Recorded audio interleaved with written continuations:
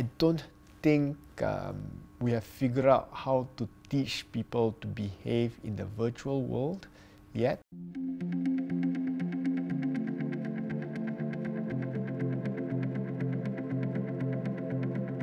I think we want to build a society where people care for one another even if they don't know each other. The society we do not want to be is to become a developed nation of selfish individuals.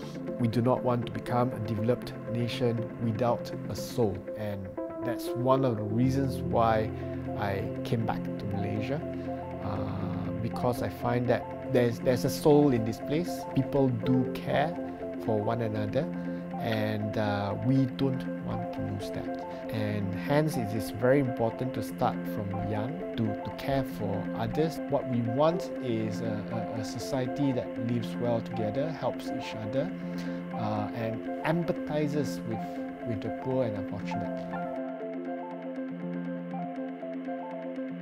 Before elections where I was very active on the social media. If you read the comments column, all sorts of foul languages comes out, all sorts of accusations, all sorts of uh, uh, remarks that are completely uh, spurious and, and, and, and, uncalled for are, are, in the comments column. I don't think um, we have figured out how to teach people to behave in the virtual world yet. Uh, it's all very new and probably the people who are uh, teaching our kids today don't fully grasp the, the, the, the, the, virtual world as yet. The, the best way to teach behavior really is to say that whatever that is not acceptable in the real world is not acceptable in the virtual world. It's no excuse to, to denigrate, it's no excuse to bully, no excuse to, to, to insult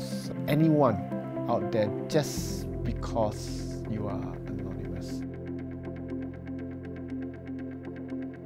The best thing to show people is that you know, when you do, you fight for what is right, the world becomes a better place. And for the ordinary person on the street, every little bit of kindness will make Malaysia and the world a much better place. To me, as an MP, you have to demonstrate righteousness, you have to demonstrate uh, uh, a willingness to fight for your principles. I think if people see that it's not in vain, that you can actually achieve something positive out of it, more people will then do what is right and more people will be kind